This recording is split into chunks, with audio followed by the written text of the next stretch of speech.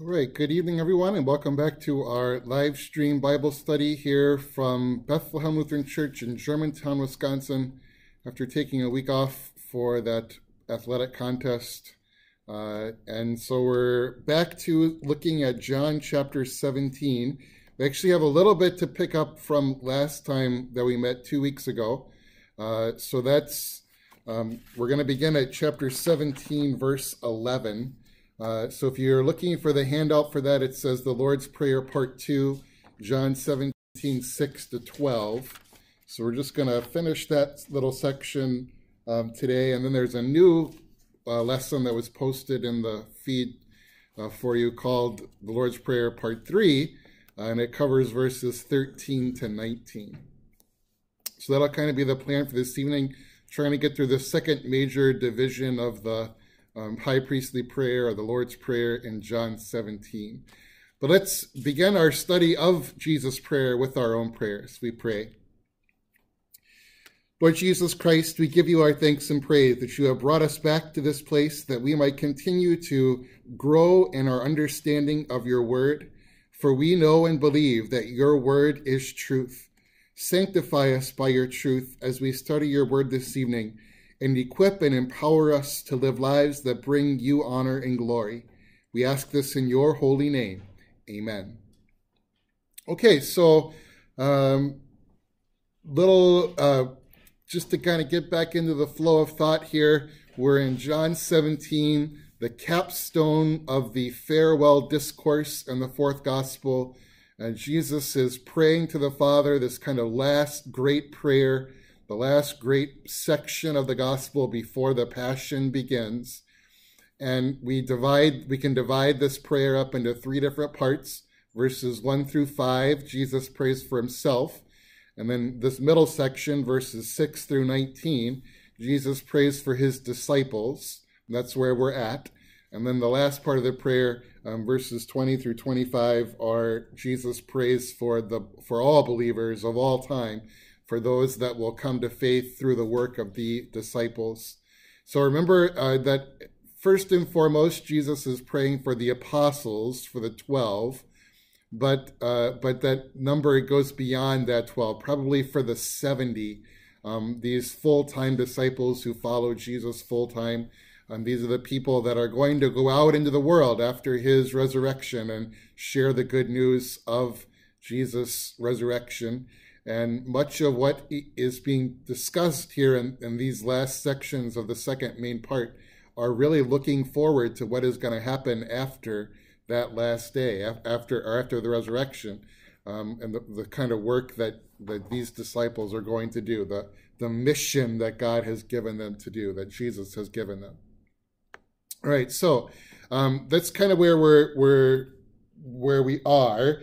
And we're going to be picking up here in verse 11, where Jesus is going to talk about the fact that he's not going to be around much longer in the world. And what, of course, he's always he exists forever, but he's not going to be in the world uh, much longer.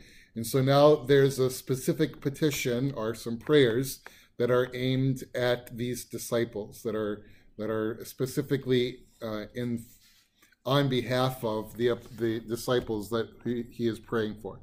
So we, we begin reading at verse 11. Jesus says, I will remain in the world no longer, but they are still in the world, and I am coming to you. Holy Father, protect them by the power of your name, the name you gave me, so that they may be one as we are one. So there's a, there's a couple of very interesting things that are going on there.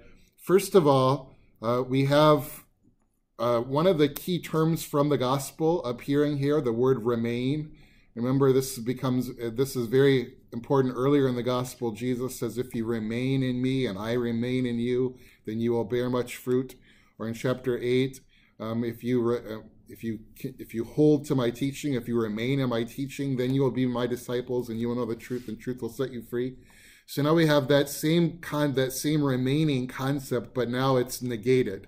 I'm um, I'm not going to remain. The time for Jesus' physical presence in the world um, is is going to end, and yet Jesus says that the disciples are not going to go with him. The disciples are going to have to remain in the world. We're going to hear a lot more about that in the next paragraph, beginning of verse 13. So, the lesson that we have set aside for tonight. So, I'm not necessarily going to talk any more about that. But I do want to talk about the second big point um, in this verse is the address that Jesus uses. Holy Father. This is the only place in the fourth gospel where this combination of words is used, Holy Father. And it is a very interesting combination. Uh, because of the overtones of each of the two words. So the word holy, and again, we're going to have the chance to talk about this and the, the new lesson for tonight. Um, the word holy means something is holy when it's in a class all by itself. To holy, be holy means to be set apart from other things, right? So, um, in, in in our world today, maybe we set apart some some part of something in order to to we reserve that thing for service to God. So, I'll give you an example. Um, you might we might talk about Holy Communion, the elements of Holy Communion. Now, Jesus told us to use bread and to use wine in the Lord's Supper. And you can use any bread and you can use any wine for that purpose. But we have special bread that we have set aside and special wine that we set aside, not because it's special in and of itself, but that we've decided this bread isn't just going to be for eating. This isn't just going to be, you know, um, what we give our three-year-olds for a snack. But this is this is bread that we've set aside for the purpose. We've separated this bread from all the other bread in the world we set it aside for this purpose to use in the Lord's Supper. In a sense, that bread has been made holy. It's been set apart. It's been put in a class all by itself. No other bread is going to be used for the Lord's Supper, only this bread. Um, you can put people in classes like that. In other words, you can, if, if you wanted to, if you wanted to separate one person from a group of people, right? So maybe you'd maybe you'd say, um, of all the people that are watching this class now, there's one or two maybe who aren't, um, whose lawns aren't filled with snow at this particular moment. You could say that those people are holy in the sense that they are separated, they're in a class by themselves from the rest of us, whose, whose lawns are very much filled with snow. Um, uh, when we are described as being holy in the Bible, it, it means that we as believers are set apart from the unbelieving world. We're set, we're set aside. We're in, we're in a different class from the unbelieving world. We're in a class by ourselves, set aside um, for service to God, to be served by God and to be and to serve God. But ultimately, the only being who is truly and absolutely holy is God. God is holy because there is no no one nothing that you can put in God's class. Right? There's there's God is in a class all by himself. That's what we mean when we talk about the holiness of God. So when when Jesus calls God holy Father, that first word holy is a very exclusive term. It's something that is absolutely true only of God. When we talk about God's holiness, we're really talking about a God who is very different than us, a God who is far away, um, a God who is um, the, um, the, the technical term is um, that he is transcendent. He's he's beyond our comprehension. When we describe God as holy, this is what the angels are singing in Isaiah 6 at the call of Isaiah. Holy, holy, holy is the Lord God Almighty. He's in a class all by himself. Nobody can comprehend him. So that word holy emphasizes the transcendence of God, the greatness of God, the awesomeness of God, the, the incomprehensibility of God. That's a good word. Um, so, uh, so that's the word holy, but then it's tied, it's connected to the word father, which is the exact opposite. This is a very intimate word. It's it's a familial relationship, right? Um, when we we call on God as our Father because we know that He loves us, He wants what's best for us. Um, in the work of His Son, um, we enjoy sonship. We enjoy being children of God like Jesus is a child of God. And so you, and in other words, the word Father emphasizes the technical term is immanence. The fact that God is very near us. He's very close. Wherever we go, he goes with us. And so that the, the description of God as Holy Father very powerfully combines God's transcendence, holy, with his immanence, Father. He's at the same time a God that's completely different from us, his incomprehensibility, but a God who is very near to us, very close to us, because he is our dearly loved Father. Um, so it's a very it's a very interesting way of addressing God. It's a very appropriate way of, dress, of, of addressing God uh, that emphasizes both his transcendence and his immanence. And then the last and the most important thing that I want to talk a little bit about um, in this verse is the last phrase um, that uh, God wants, or Jesus wants God to protect the disciples who remain in the world by the power of his name, right? So it says, use the power of your name, Lord, the name that you gave me. Um, protect them who are st- who are going to stay in the world. And then here's the phrase, so that they may be one just as we are one, so that they may be one as we are one what Jesus is talking about there in that verse is what we're going to talk about, what we're going to call, for the, the purposes of this evening's discussion, Christian unity. Christian unity. and Christian unity, unity is something that Jesus wants. It's something that Jesus expects from his church, um, is unity. So, what we want to talk about, though, is the two kind of false paths, two kind of misunderstandings of, of the idea of unity and the way that it plays out in our world today to make sure that, as is so often the case, we find the narrow Lutheran middle road between two ditches or two extremes that go too far in one direction or the other. And so um, sometimes people will appeal to a verse like this that they may be one, Father, just as you and I are one.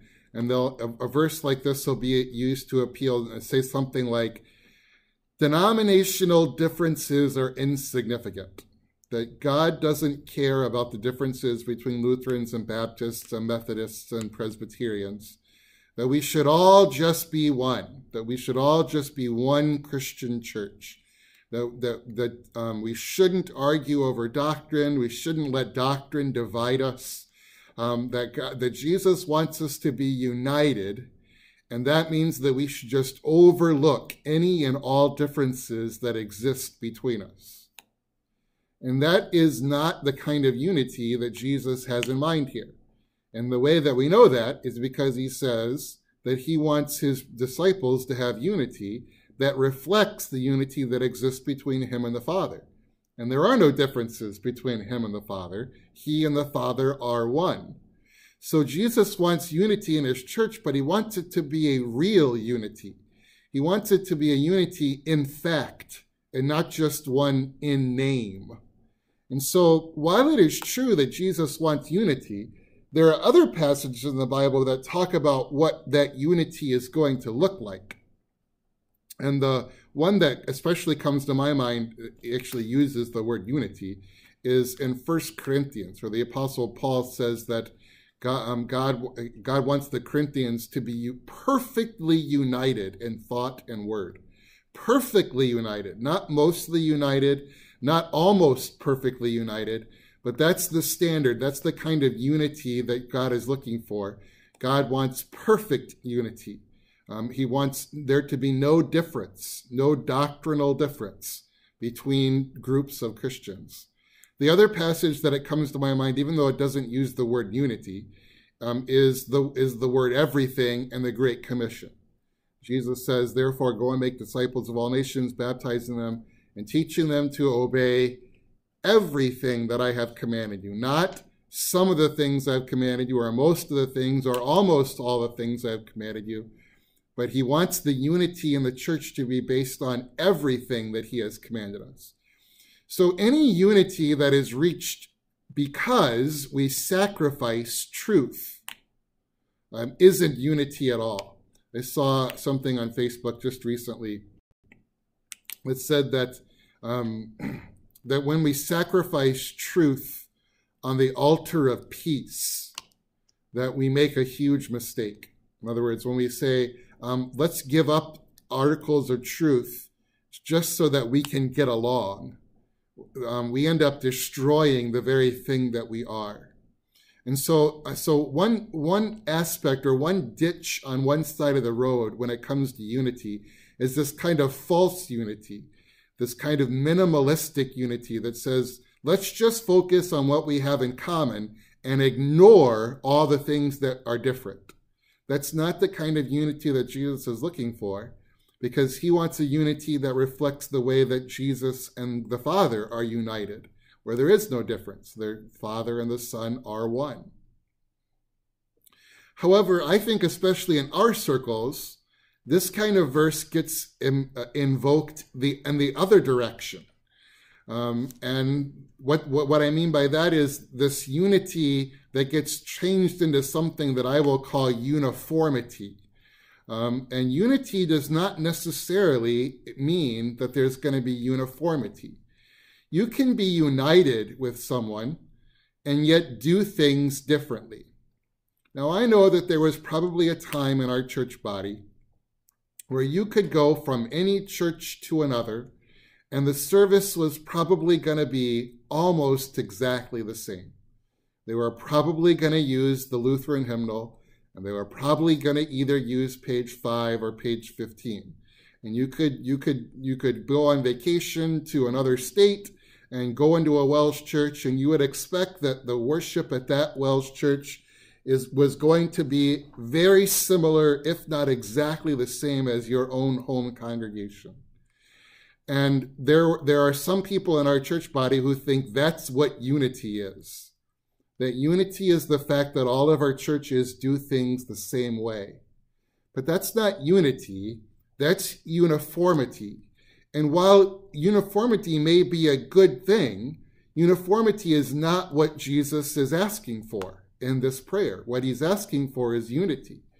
And so, what we have to recognize as a church body, especially a church body that isn't what it was in the 1950s and 60s, a church body that is more sensitive to the fact that we might have to change changeable aspects of our ministry to more effectively um, destroy barriers to hearing the gospel.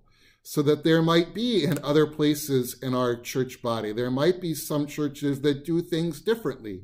Maybe they don't use a hymnal at all and, and if they're not using hymnal, they're certainly not using page 15 or page 38. We have page 15 and page 38 now um, with Christian worship. Um, maybe their pastor doesn't wear a robe. Maybe they don't have an organ. They have a praise band.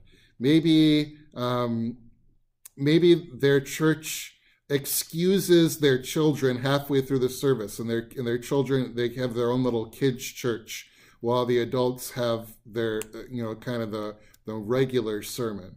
Or uh, maybe uh, maybe there's a church that opens up a coffee shop next to it or connected with it in the hopes of getting people to um, to be more comfortable being on their campus. And and there are some people in our church body who have said things like um, they are destroying the unity of the church by doing those things. That by not using a hymnal or by their pastors not wearing robes, or by not doing things the way that they've always been done, that they're destroying the unity that exists within our church. That's just not true. That is making unity into uniformity. The kind of unity that Jesus wants is a real doctrinal unity, a real unity that is based on the name of God. That's what that's the basis of the prayer here what God has revealed about himself in the Word. We have no choice but to be united about such things. But where there are things that are not a part of God's name, things that we normally call adiaphora, things about which God has, has made no command, like whether or not our pastors wear a robe, um, then we don't have to do things exactly the same way. Now, I've used some examples that I, that hopefully I think most of the church people, our churches, and our synod have moved beyond.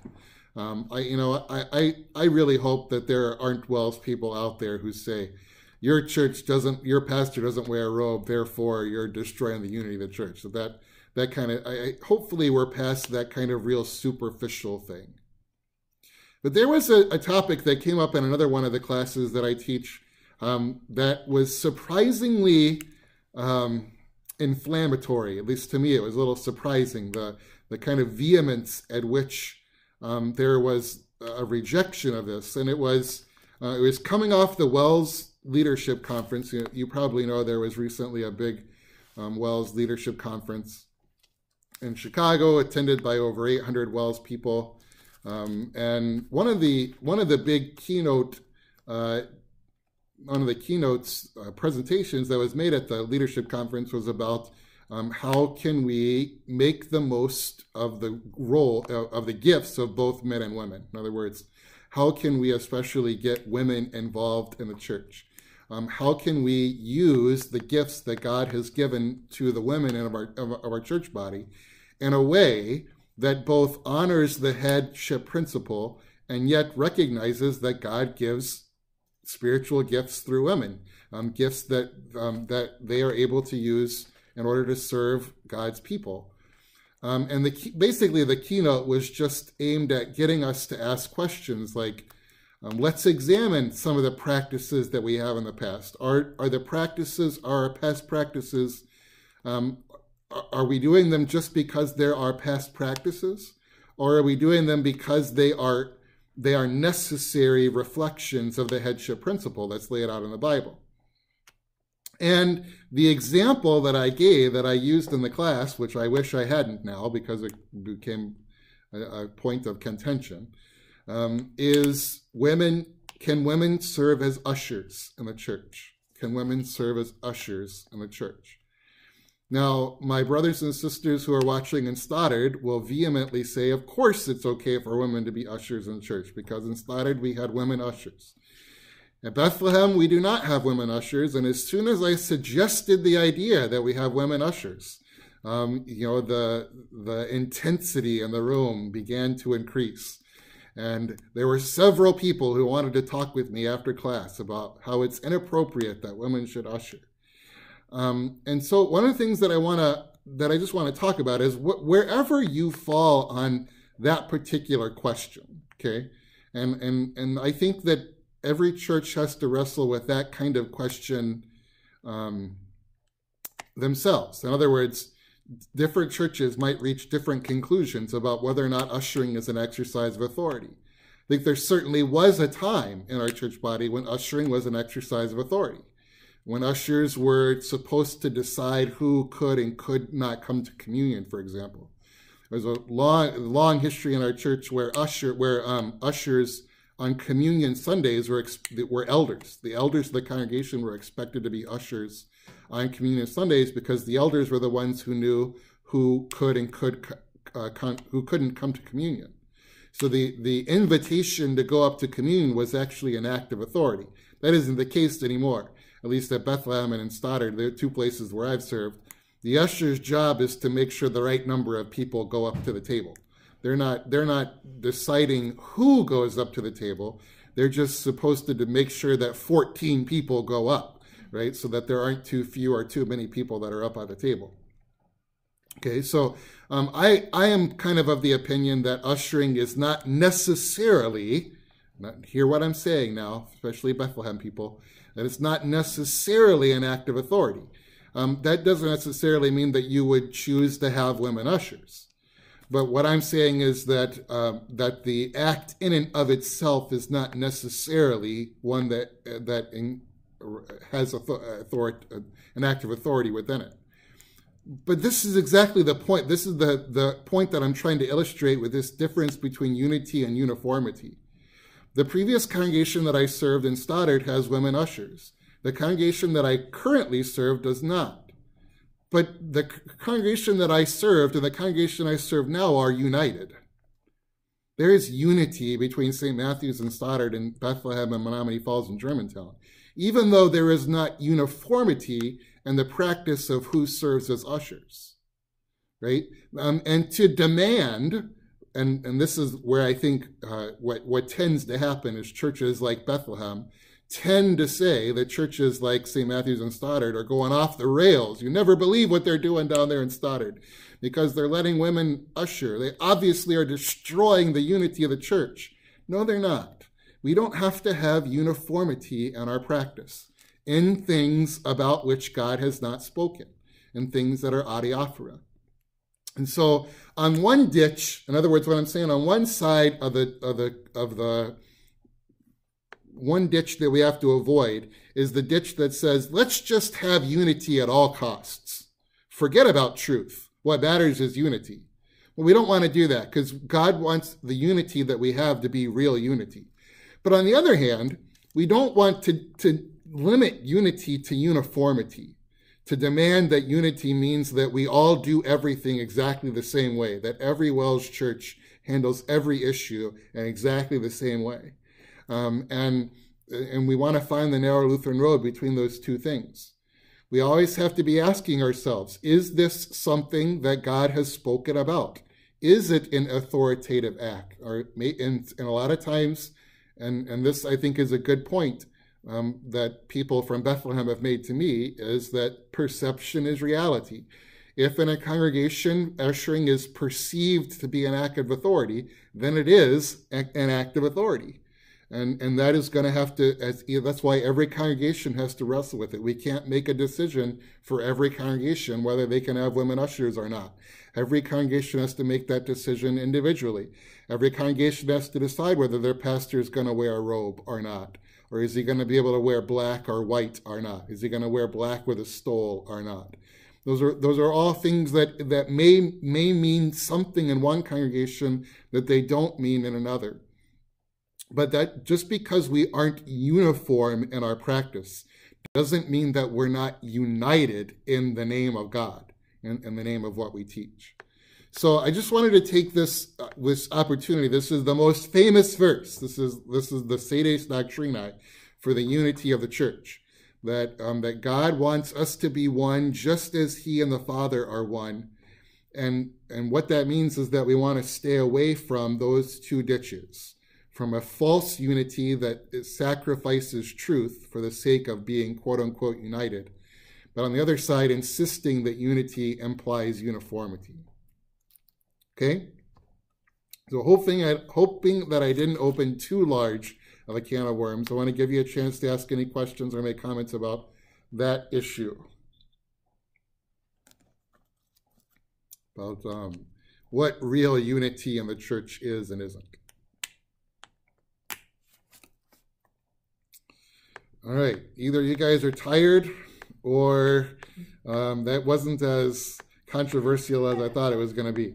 Uh, but if um, if you're typing something, feel free to keep typing, obviously, um, and send it, and we'll we can circle back to picking it up. Rachel. I'm not really sure how to ask this, but in congregations, sometimes you see people with different opinions and especially like maybe when it comes to the direction a church is going or things of that nature and how do you how do you keep unity while still allowing for dialogue and perhaps constructive conflict. I don't know is that a, a good way of putting it? All right so rachel asked the question how do you how does a congregation handle this this desire? It's not a desire the command for unity right? God's desire for unity. And because God desires it, we too desire it. How do you how does the congregation handle it when there are very real differences within a congregation about an issue, when a congregation is really divided about an issue? How do you how do you go about that? And um, I wish there were a book that's that gave an answer to that question. I, I wish I could write the book because then I'd be rich because then I could just sell it to every congregation because that's the question that every congregation has to wrestle with, right? Um, so let's say a couple things. We always want to wrestle. This is something that I got from Professor Gurgel, and who knows whether who who he got it from, but um, this is something that I think about a lot when we're thinking about what we do as a church. What we do when we talk about what we do, we always want to ask ourselves the question, why do we do it? Okay? In other words, we don't want to do things just because that's the way we do them.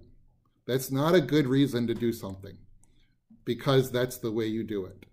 Um, so the question is when you when you have any practice in the church, whatever practice you're thinking about, is going to fall into one of three categories. Is it something that must not change? Is it something that may or may not change? Or is it something that must change? Okay, those are the three categories. Is it something that must not change, something that may or may not change, or something that must change? And the reason that I like to start there is because if the issue falls into either category one, must not change, or category three, must change, there really can't even be a discussion. Either it must not change or it must. Right? So the very first step is to decide is this a, is this a necessary issue one way or the other? Okay, so let me illustrate that. Um, on one side, let's just say uh, we would we'd have some people in our church who would suggest something like um, the way that our church body has understood the, the headship principle is not supported by Scripture. That the WELS teaching on the headship principle is unscri- unscriptural. That we should change our understanding of the headship principle. Okay, to me, that falls under the category of must not change. You'd have to show me from Scripture why the standard interpretation or understanding of the headship principle that we have had in the history of our church isn't what we've always had in the history of our church. In other words, the reason that we have it is not because we've always had it, but because it's re, it's it's based on the scriptural passages. Almost always, the, in the category of what must not change, what must not change is the word, right? The content of what we preach that cannot change. I think what's more difficult is when we get into the into things about what must change, um, because uh, there that might be there might be some debate about whether that thing must change. But let me give you another example from the leadership conference. Um, uh, Pastor Hein, uh, there are many Pastor Hein, so I forget which one. John Hein. Pastor John Hein has um, has been asked by our synod to do a lot of work um, uh, uh, he is now the head of a, of a new task force in our church body called the Commission for Congregational Counseling. And uh, he, he invested a year of his life into studying the trends that are going on in our, in, in our church body, the direction our church body is going. And the, what he discovered about the trends that our church body uh, the the, the trends are very disturbing um, for example if we continue losing the number of members at the rate that we are currently losing members the WELS will cease to exist by 2050 okay 30 years from now if we lose as many members this year or every year as we, as we lost in 2018 obviously we haven't done all the numbers for 2019 yet. But if we lose as many people as we lost and, and the, the, the, the curve stays the same as it has the past decade or so, then the synod won't exist in 2050. Um, so something's got to change there. That's what that's what Pastor Heins' big takeaway from that is. Something's got to change. We can't just keep doing what we've always done and expect to get vastly different results. We have to do something different. What we cannot change is the message that we proclaim. Um, um, the, the what of our ministry cannot change, but can the how of our ministry change? Pastor Hein would say not only can it, it must. Okay. Now I'm gonna I'm going back, um, picking up a quote, uh, a comment here from Don Mallow. Another example of women's involvement. I think about some women at Bethlehem who have helped us in the marketing and promotional Bible studies. As pastors aware, we were careful that the members of Bethlehem didn't perceive that the women were leaders and or the decision makers. So this is, um, I'm glad that Don brought this up. This is a, a great example of letting, uh, allowing, or not just allowing, of asking people who have gifts that no one else on our board or committee had, which is marketing. Um, and it turns out that one of the wives of one of our board members, what they what she does for a living is marketing. And so we said, you know what would be a good idea is to have her come and give us some advice about how we can do a better job of getting word out to our congregation about the Bible study opportunities that we have here at Bethlehem, because there are tons. I mean, there just there are, are so many opportunities here at Bethlehem to study God's Word.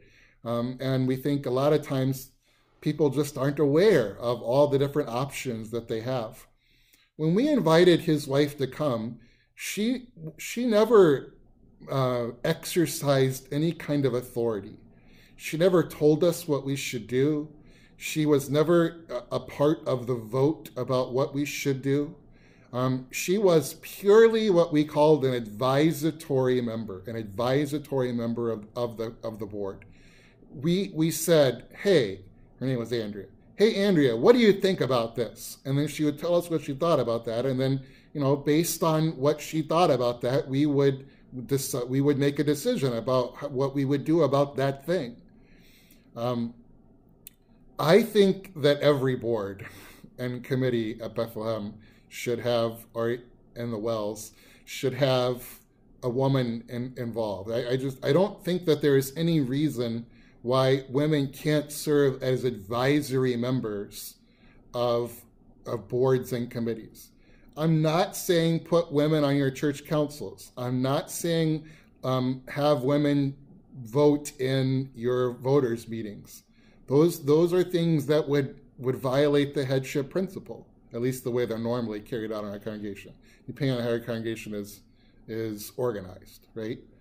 But for us to for us to think that the women the women in our congregation have nothing to give to the way that we plan the, the ministry that we do, I think is not only is it kind of naive, um, it, it's just wrong. In other words, it's saying to God, we don't think that you can give gifts through 51% of our congregation, that you have limited gifts to the to 49% of our congregation. Um, so, uh, and, and so just uh, Heidi has a comment here. I appreciate the comment, Don. Like to point out that there are women in positions of allowable leadership at Bethlehem that encourage Christian growth. That's that is the case, right? Um, for example, women teachers. Women teachers, um, they um, promote Christian growth. Women teachers teach authoritatively. They just don't do so. They don't want to teach authoritatively over men in our congregation. And I don't really want this to devolve into a Bible study on the headship principle, which we could certainly do sometime. Um, that's not what I have in mind here. Um, but I guess what, what I'm trying to get at is Bethlehem. I, I, wonder if the reason Bethlehem doesn't have any women on any of its boards, advisory members on its boards, is because it's never had women on its boards before. That's not a good reason not to have women on your boards. Is because we've never had women on our boards before. If you say we're not going to have women serve on our boards because our boards lead the direction of our congregation and they do so in a, in a way that in, it requires the exercise of authority, fine. Then the, you shouldn't have women on your boards and committees. Um, but if women can be a part of your board and committee without exercising authority over men in that in that setting, then why wouldn't you want their impact? Why wouldn't you want their gifts and their experiences to be a part of what of what uh, you can bring to the table. Again, that's something that every congregation has to wrestle with um, themselves. Every congregation is going to have to have wrestled with that issue about how can we incorporate, how can we get women involved in a way um, that uh, in, in, a way that re- respects the headship principle. So Heidi has, I can visualize women ushers whose purpose would be to assist crying babies and distressed families and things like that. Uh, yeah, absolutely. Maybe we don't call them ushers then, right? Maybe we call them helpers, or maybe we call them super women um, to come to the rescue. Um, uh, and I and and believe me, I think most of our men ushers would be more than happy to to let let them do that. So um, but it, getting back to Rachel's original question is how do you handle this? Let's just say we get um, to something that is in the middle there. What what may or may not change? Unless well, since we're using it as an example, and even though I didn't really want to use it, let's use it. Let's use the example of women ushers. Um, can can a can a Christian congregation, can a WELS congregation have women ushers? Well, that is a question. That is something that may or may not change. I, think a congregation in good conscience could decide we're going to change the practice, historic practice of our church, and we are going to allow women ushers. Um, because ushering has no exercise of authority. An usher's job is to hand a bulletin to you as you walk in and to help the plates go down alternate rows. Okay, um, that is maybe the the the be all and end all of what an usher does. Um, if and if that's the case, the, I don't I don't see why there'd any be reason why you wouldn't want why a woman wouldn't be able to do that. I'll say it that way. There might be reasons why you wouldn't want them to, but but the, I, would be, I'd be hesitant to say there's any there's a reason why they shouldn't be able to, right? Um, so when you have an an item like that, especially a divisive issue like this, the first thing that we always have to remember, the first thing we always want to talk about is let the law of love reign. Remember that, that love always dictates what we do as Jesus' disciples. That's a part of the farewell discourse, right? This is how that they will know that you are my disciples, the way that you love one another. Remember what Christian love does. Christian love puts the interests or needs of others before their own interests or needs. Um, and so, what Christian love does, first and foremost, is it seeks to understand the other perspective. You try to put yourself in the place of the other group. You try to say to yourself, why would it be, why would Pastor Arnold want this strange idea of having women usher? Or maybe from my chair, I put myself in the frame of mind, why? Can I imagine uh, why it would make men in our congregation uncomfortable to have women ushers? That is what love does, is it tries to understand the perspective of the other side. Then in love, you have a discussion. You have a discussion about what the principles are, the things that cannot change. You have discussions about the applications of the way those principles have been in the past and then you have discussions about how they might be in the future. And, uh, and then you move forward. At some point, uh, one group says to the other, out of love, we will defer to you at this time. Um, I do think that there, that as in the church, we should, you know, to borrow a, a term from the business world, that we should think win-win. That it shouldn't be um, I'm my agenda is going to trump or defeat your agenda, right? That I'm going to win and you're going to lose. Doesn't have to be. We don't have to have that win-lose mentality. We can have a win-win mentality. We can find a way um, where women can serve and the headship principle can be respected. That's ideal, right? That's the kind of situation we want. Or um, let, let's just take it to a different realm, the realm of worship what, what is our worship going to look like? Is our worship going to look very traditional? You know, is it going to look like it did in 1950, where everything was everything and, and, and every only is is done led by the organ. All congregation is singing is led by the organ, and there isn't going to be any music that was written after the in the 20th century. Um, just going to be all Lutheran hymns from the 17th, 18th, and 19th centuries. You know, is, is, is worship going to look like that?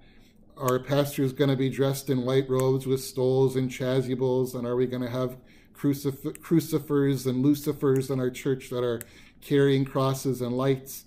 Um, super high church?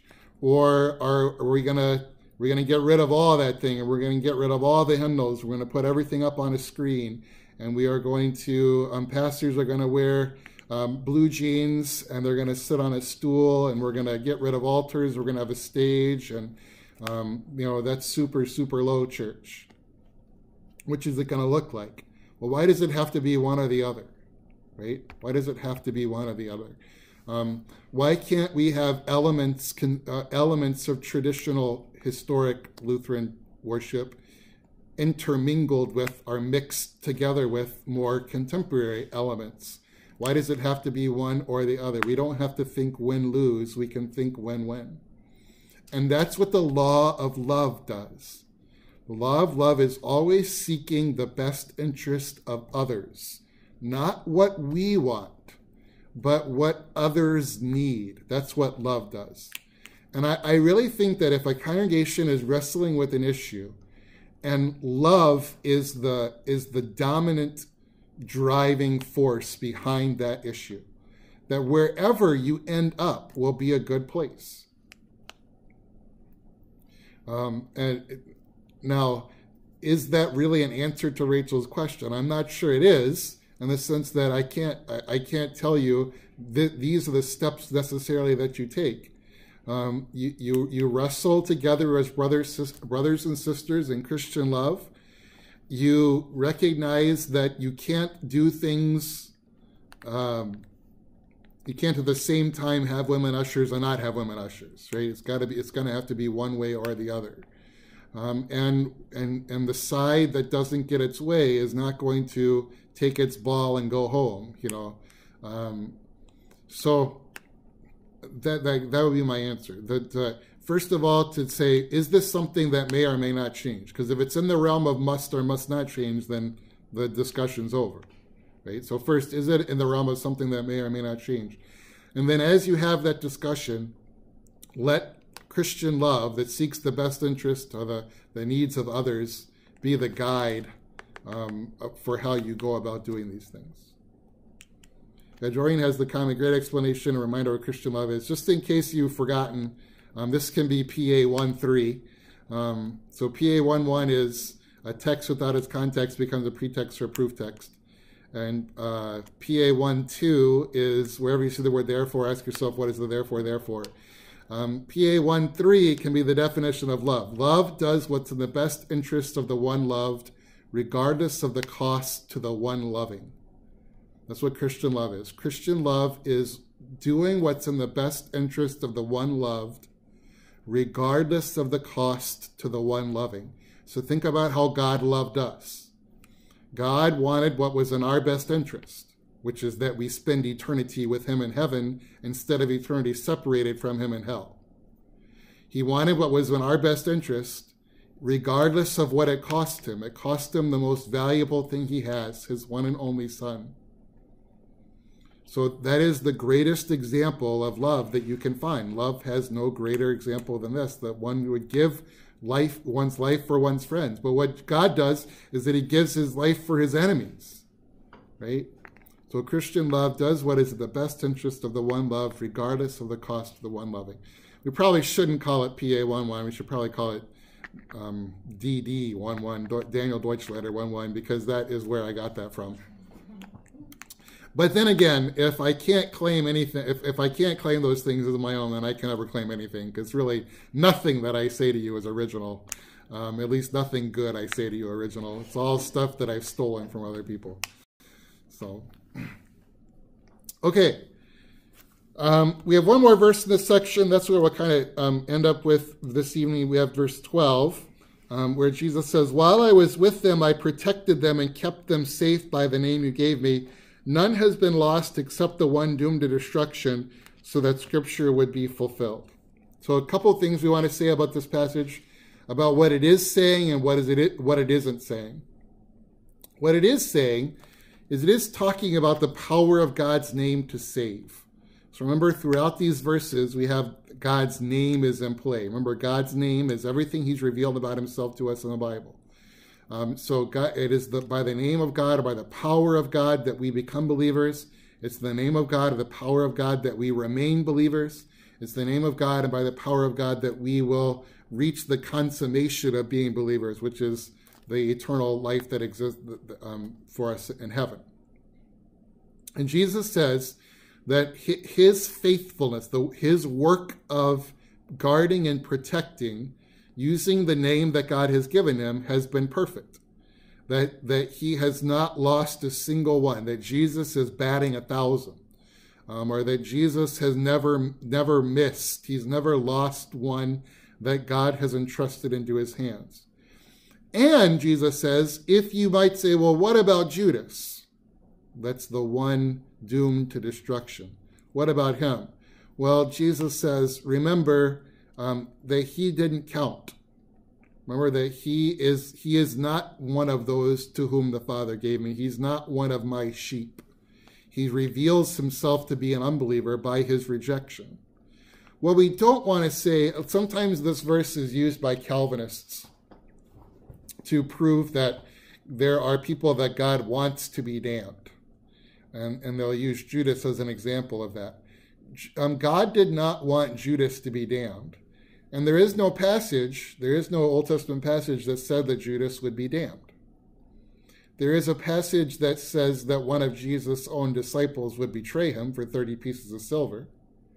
And it was necessary that one of Jesus' disciples fulfill that prophecy. It is true that Jesus knew, even from the beginning, who that one was going to be. Think about how many times I think it's three times in the fourth gospel that whenever Judas is mentioned, we get the little reminder. This is the one that who betrayed Jesus. Um, Jesus knew from the beginning when he called Judas, the moment that he called Judas, he knew that he was going to be the one who would betray him. But the but the reason that Judas betrayed was not because Judas was doomed to, not because Judas had to, not because he was predestined to destruction. There is no predestination to destruction. Um, there is no being doomed to destruction.